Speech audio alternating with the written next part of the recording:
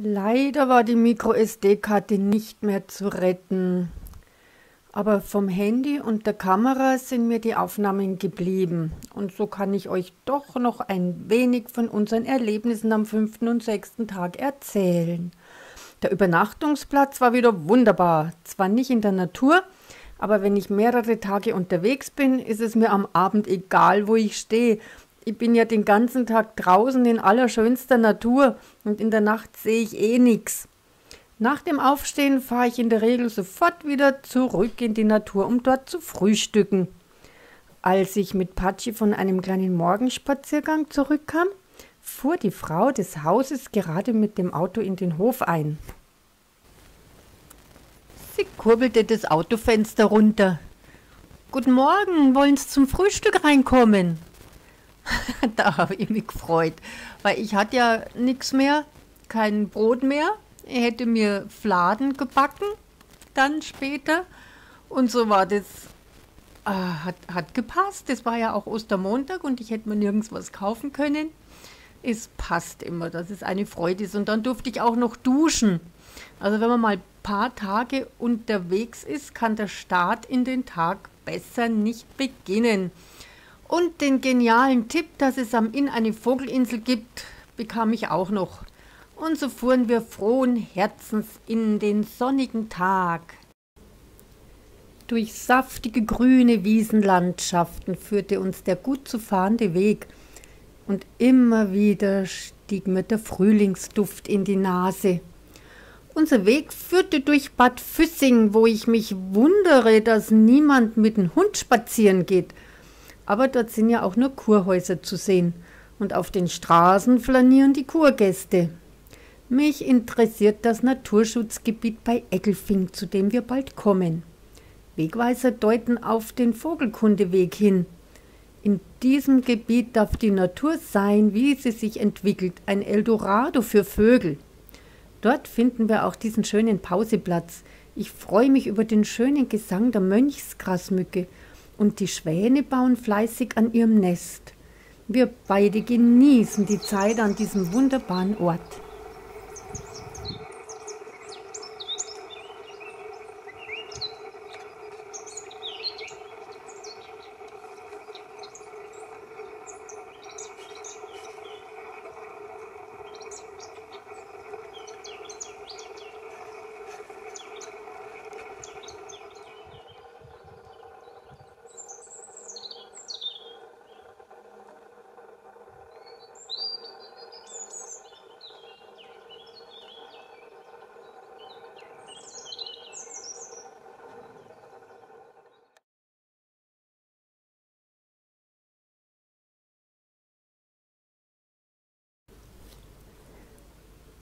Sogar den Pyrol hörte ich flöten.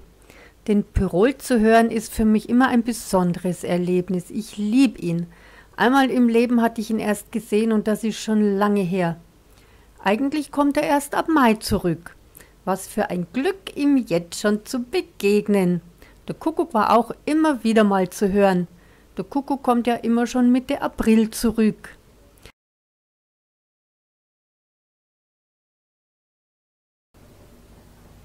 Dann hatte ich die Idee von uns eine Aufnahme zu machen mit dem Pivo und den Lieben zu Hause zu schicken. Und es funktionierte nicht. Ich habe immer wieder geknipst, habe mir gedacht, macht er jetzt oder macht er nicht? Nee, dann hat er nicht gemacht, dann hat er gemacht und so guckt man dann. Wenn man nicht weiß, hat es funktioniert oder nicht. Mittlerweile weiß ich, dass die Batterien von der Fernbedienung den Geist aufgegeben haben.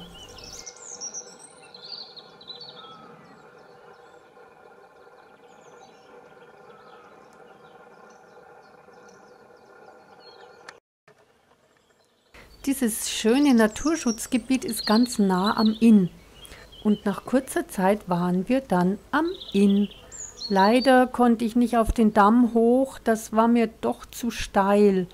Damit entfiel dann leider auch der Besuch der mir empfohlenen Vogelinsel. Wissen wollte ich aber schon, wie es da oben aussieht.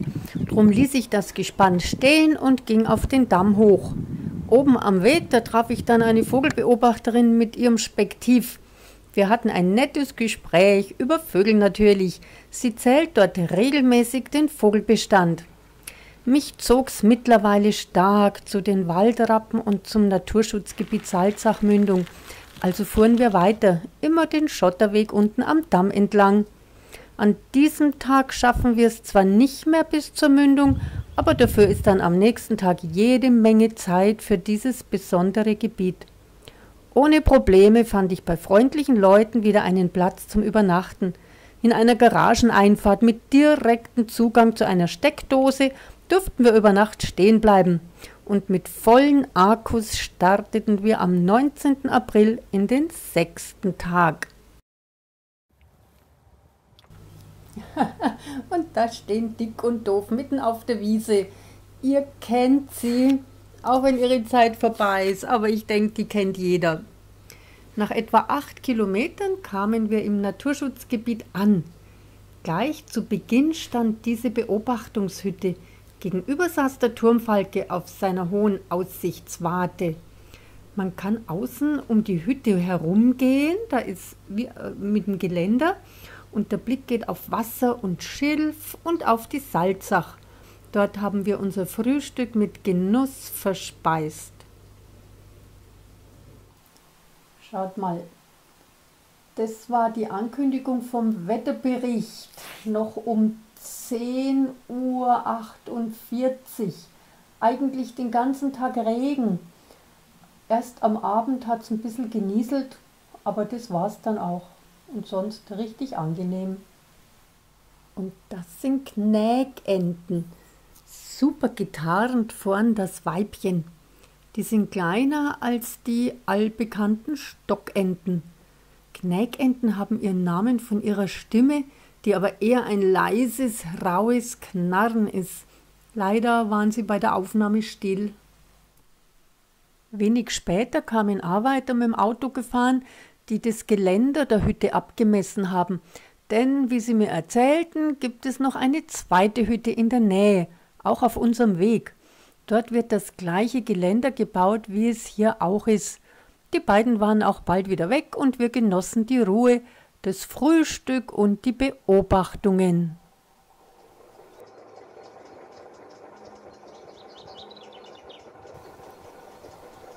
Dann ließ ich alles stehen und ging mit dem Patschi einen kleinen Weg zur Salzach runter. Kleiner Spaziergang zwischendurch. Jetzt komm, Patti. Ei, los. Komm. Ja, komm. Geh mal.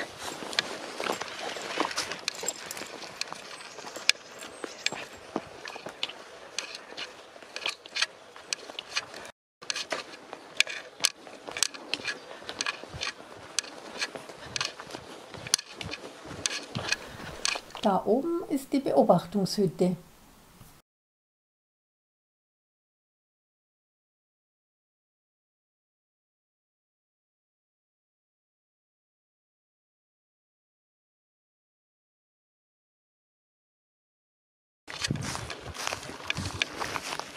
Also doch baden.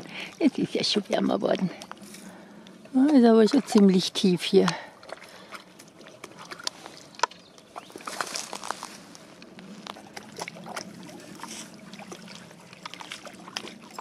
Im Wasser schütteln. Jetzt komm lieber wieder raus.